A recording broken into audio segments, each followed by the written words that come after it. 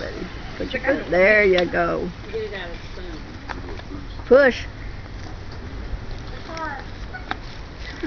That's gonna take some practice. Push with your left foot. That's a big bike for 40 Okay. pounds.